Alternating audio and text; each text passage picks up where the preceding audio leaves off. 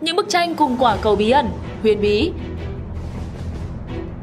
những bánh răng UFO kỳ lạ hay những bức tượng hình người thằn lằn là những món đồ khó giải thích, chỉ có thể là do người ngoài hành tinh để lại trên trái đất. Từ trước đến nay thì chúng ta vẫn hay tranh cãi với nhau về việc người ngoài hành tinh có thật hay không. Và để củng cố niềm tin cho các bạn rằng người ngoài hành tinh là có thật thì hãy cùng xem những món đồ kỳ lạ được cho là người ngoài hành tinh đã bỏ quên trên trái đất nhé.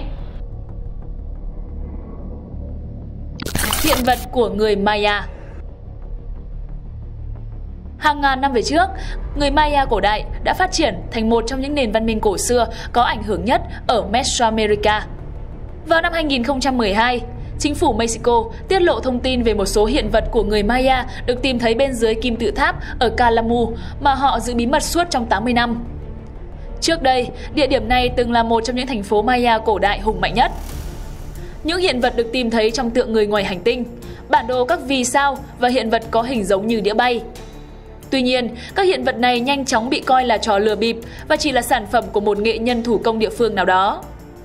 Chính vì thế, sau đó không lâu, đã có hai người bị chính phủ xử phạt khi đứng ra sản xuất bộ phim tài liệu về những hiện vật này. Bởi chính phủ cho rằng phim có quá nhiều yếu tố giả mạo liên quan đến UFO và người ngoài hành tinh. Tuy nhiên, cổ vật kỳ lạ như vậy không chỉ được tìm thấy một lần. Trong những năm qua, các nhà khảo cổ đã tìm thấy nhiều món đồ có hình thù kỳ lạ như thế của người Maya, làm chúng ta không khỏi nghi ngờ. Có phải người Maya có quan hệ với người ngoài hành tinh hay không? Các bạn nghĩ sao với câu hỏi này? Hãy để lại ý kiến dưới phần bình luận cho chúng mình để biết nhé!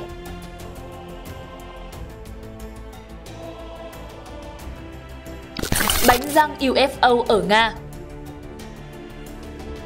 một người đàn ông Nga đã tìm thấy một mảnh bánh răng kỳ lạ trong đống than khi mà ông ta đang sử dụng chúng để nhóm lửa sưởi ấm ở Vladivostok, trung tâm hành chính khu vực Primorsky Krai ở Nga.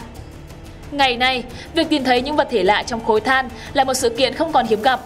Song vì tò mò nên người này đã gửi phát hiện tới giới khoa học để phân tích. Sau khi phân tích, kết quả cho thấy bánh răng trên được làm từ nhôm tinh khiết và nó được thiết kế ra bởi ai đó với niên đại lên tới 300 triệu năm tuổi.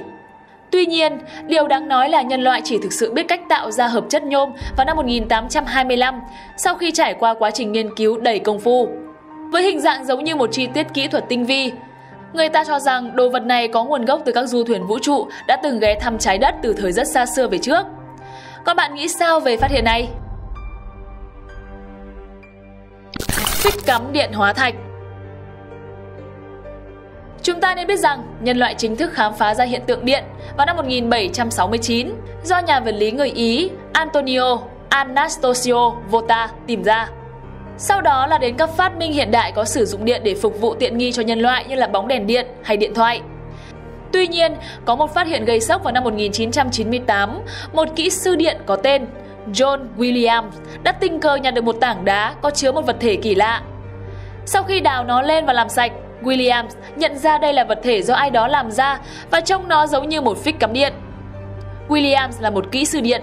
Ông nói rằng vật thể không bị dán hoặc hàn vào khối đá, mà các lớp đá bao phủ xung quanh thiết bị đã bảo quản nó tồn tại cho tới ngày nay. Sau đó các nhà khoa học đã bắt tay vào tìm hiểu bí ẩn của chiếc phích hóa thạch này và đã đo lường được tuổi thọ của nó. Các bạn có tin được không? Hóa thạch này có hơn 100.000 năm tuổi. Và đến tận ngày nay, người ta vẫn còn đang tiếp tục tìm hiểu về nguồn gốc của chiếc phích cắm điện UFO này, nhưng vẫn chưa có đáp án logic nào được thông qua.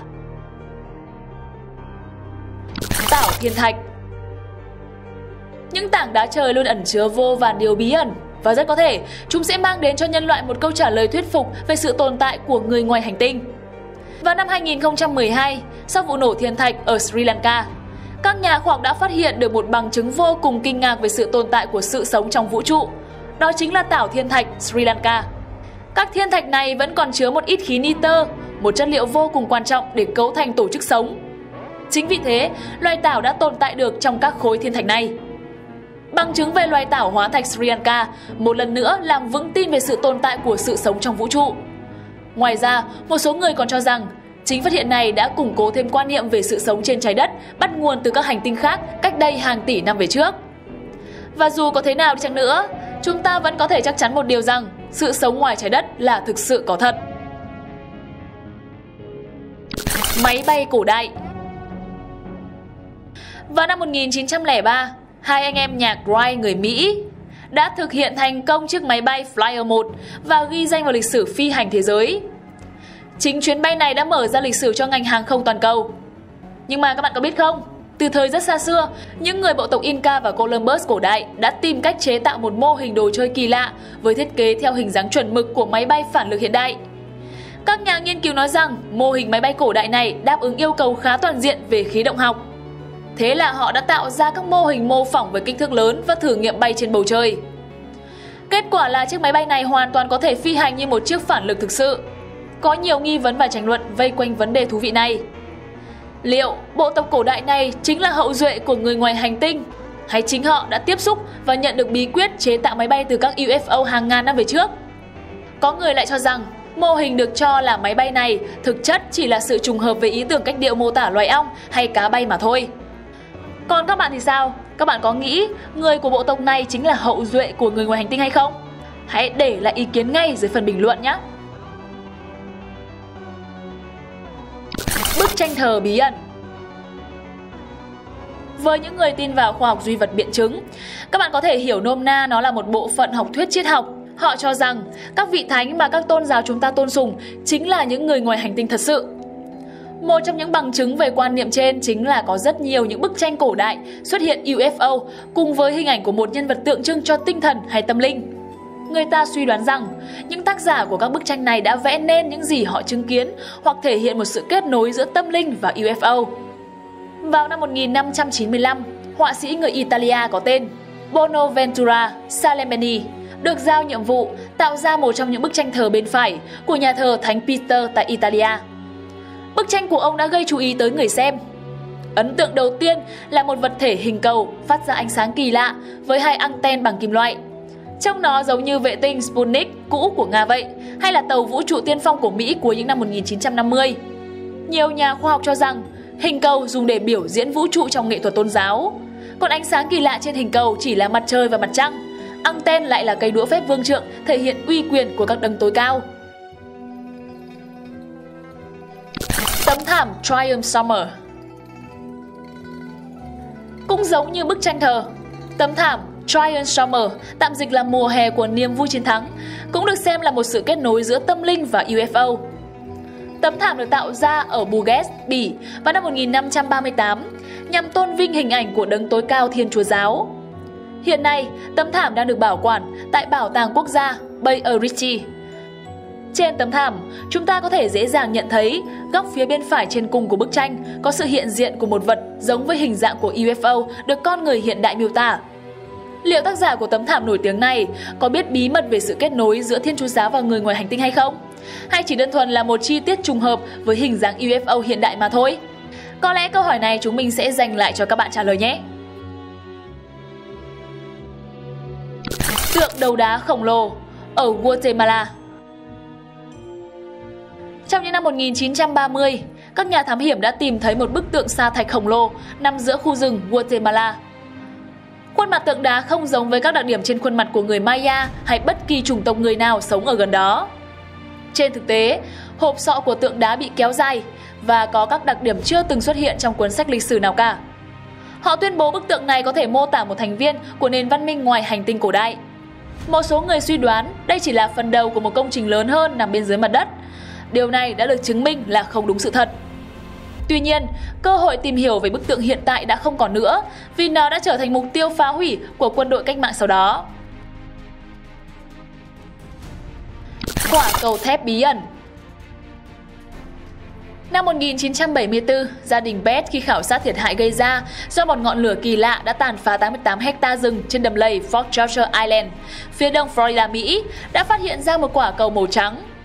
Vật này có đường kính 20cm, hoàn toàn trơn tru, ngoại trừ một biểu tượng hình tam giác trên nó.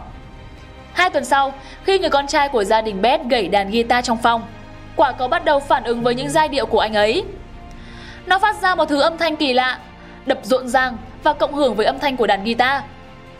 Quả cầu còn có rất nhiều tính chất khác lạ. Nó có thể dừng lại và thay đổi hướng khi bị đẩy đi trên sàn nhà. Cuối cùng nó sẽ quay trở lại chỗ người đẩy. Thỉnh thoảng, nó tạo ra tiếng kêu lách cách và rung lên như có động cơ chạy bên trong. Phóng viên của tờ New York Times và London Daily đã đến chứng kiến quả cầu có phép lạ. Giới khoa học cũng như đại diện của quân đội rất ấn tượng với quả cầu, nhưng gia đình nhà Beth không muốn để cho họ kiểm tra quả cầu kỹ hơn. Không lâu sau đó, quả cầu có biểu hiện của các hành vi ma quỷ như đóng sầm cửa vào ban đêm và phát ra âm thanh kỳ lạ. Gia đình Beth cuối cùng cũng đồng ý đem quả cầu đi kiểm tra. Lực lượng hải quân phân tích và thấy nó hoàn toàn bình thường, làm từ thép không gì. Đến nay nhiều người đã cố gắng giải thích bản chất của quả cầu. Có người cho rằng đây có thể là một đồ vật chạm khắc bị ai đó đánh rơi.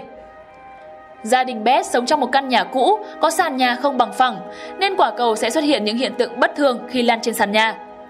Quả cầu phát ra âm thanh lách tách nhờ răm kim loại nhỏ bị mắc kẹt bên trong nó trong quá trình sản xuất. Dù cách lý giải này không giải thích được tất cả những hiện tượng trong báo cáo, tuy nhiên đây là lời giải thích phù hợp nhất cho đến nay. Còn bạn, bạn có tin vào lời giải thích này hay không?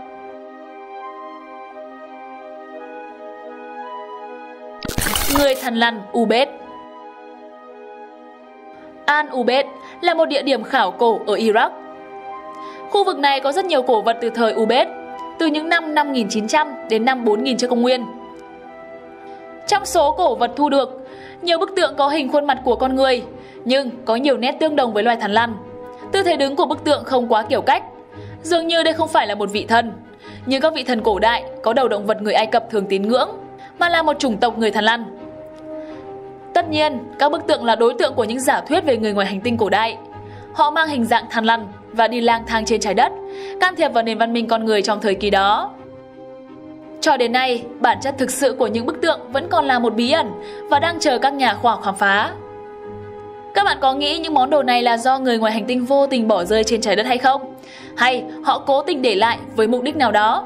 Hãy comment ở phía dưới video để chúng ta cùng bàn luận nhé! Sau đó, ủng hộ chúng mình bằng cách like, share video, subscribe kênh Top một khám phá và ấn nút chuông thông báo nho nhỏ bên cạnh để cập nhật nhanh nhất những video mới. Trên màn hình là những video hay ho có liên quan mà các bạn không nên bỏ lỡ. Hãy click vào để xem ngay. Còn bây giờ như thường lệ, xin chào và hẹn gặp lại!